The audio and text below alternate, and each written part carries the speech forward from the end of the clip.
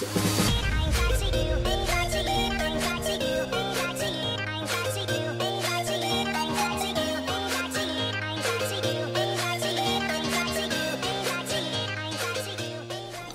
สดีค่ะ สวัสดีสาวๆทุกคนค่ะ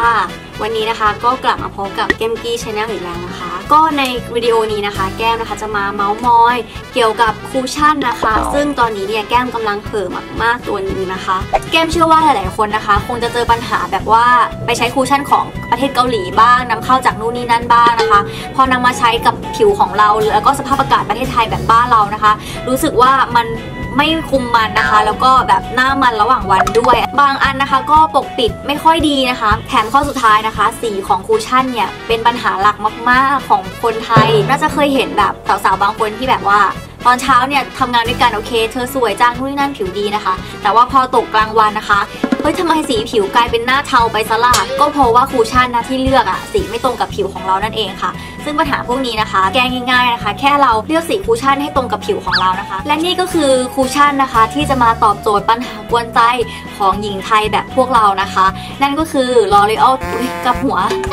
นั่นก็คือ L'Oreal True Match Cushion Silky Foundation นะคะ SPF 33 PA บวกบวกบวกเยอะมากๆนะคะกันแดดของเขาที่ใส่เข้ามาในตัว cushion ตัวนี้เนี่ยถือว่ารองรับกับสภาพกับอากาศบ้านเราได้ดีเลยทีเดียวนะคะ ตัวนี้นะคะถือว่าเป็นนวัตกรรมครั้งแรกของรองพื้นที่มาในรูปแบบ cushion เลยนะคะ ให้ความรู้สึกว่าเป็นผิว glow แต่ว่ามันมาในรูปแบบ matte คือทาไปใช่ไหมคะ ผิวเราเนี่ยจะเป็นผิวแบบผิวแมตต์คือจับแล้วจะแห้งไปเลยนะ แต่ผลลัพธ์ที่ได้ก็คือเราจะรู้สึกได้เลยว่าผิวมันดูวาวอิ่มน้ำอะไรอย่างเงี้ยดูผิวสุขภาพดีนะคะ แล้วก็ที่สำคัญเขานะคะ ให้การปกปิดระดับสูงสุดเทียบเท่ากับรองพื้นเลยอะว่าได้นะเขามีมาให้เลือกถึง 3 เฉดสีผิวกันเลยนะคะ ซึ่งจะบอกว่า 3 สีนี้เหมาะกับผิวของสาวเอเชียบ้านเรามากๆนะเดี๋ยวไปดูกันนะคะว่าแต่ละสีมีสีอะไรบ้างค่ะ นี่ก็จะเป็น 3 เฉดสีนะคะของเขาที่เขามีมาให้นะคะ ซึ่งสีแรกนะคะ สีนี้ข้างบนสุดนะคะ สีนี้เนี่ยจะชื่อว่าสี N1 เป็นสีนูดไอวอรี่นะคะ เหมาะสำหรับผู้ที่มีผิวขาวอมชมพู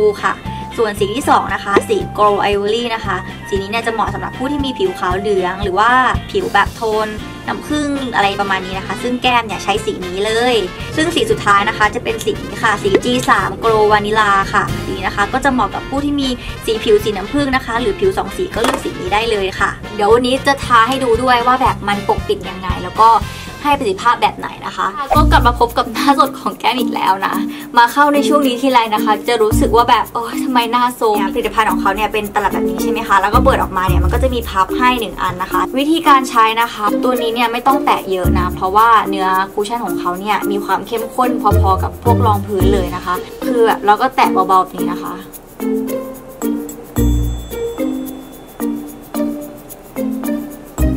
ห็นไหมคะว่ารอยตรงเนี้ยที่เด่นเมื่อกี้หายไปแล้วที่แท็บเนี่ยแก้มอยากให้เพื่อนๆแท็บเบาๆนะคะ เพราะว่า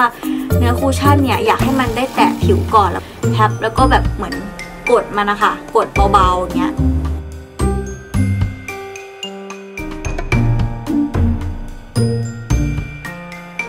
สมมติว่าเพื่อนๆรู้สึกว่าตรงไหนที่ รอยที่ชัดนะคะ หรือไม่รอยใต้ตาแบบนี้เราก็สามารถที่จะใช้ตัวนี้นะคะ แท็บซ้ำเข้าไปได้เพื่อเพิ่มความปกปิด อย่างถ้าเป็นใต้ตาเนี่ยแก้มก็จะใช้พับแบบงอแบบนี้นะคะ แล้วก็แตะเนื้อคูชั่นนะคะ แล้วก็เน้นบริเวณใต้ตาเป็นพิเศษอะคะ่ะแบบ แบบกดเข้าไปเข้มๆเลยนะคะ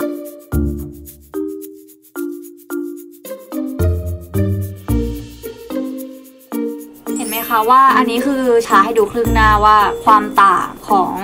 เนื้อคูชั่นของเขากับฝั่งที่ไม่ได้ทาเนี่ยมีความต่างยังไงบ้าง สังเกตได้ชัดเจนเลยว่าฝั่งเนี้ยดูแบบเป็นผิวมากขึ้น ดูผิวสุขภาพดีมากขึ้น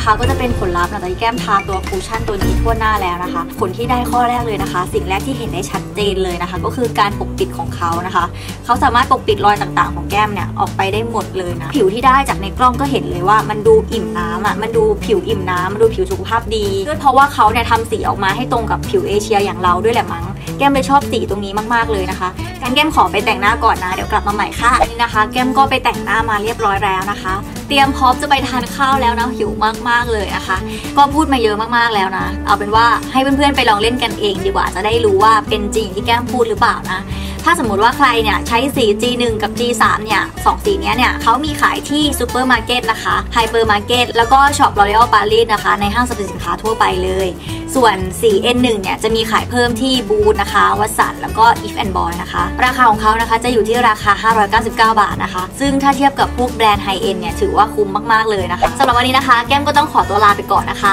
เจอกันใหม่วิดีโอหน้านะคะ เพื่อนๆ ใครมีอะไรสงสัยนะคะ ก็คอมเมนต์ถามแก้มได้เลยนะคะ อย่าลืมเข้าไปกดไลค์แฟนเพจแก้มนะคะ แก้มกี้เมคอัพนะคะ แล้วก็เจอกันใหม่วิดีโอหน้าค่ะบ๊ายบายค่ะ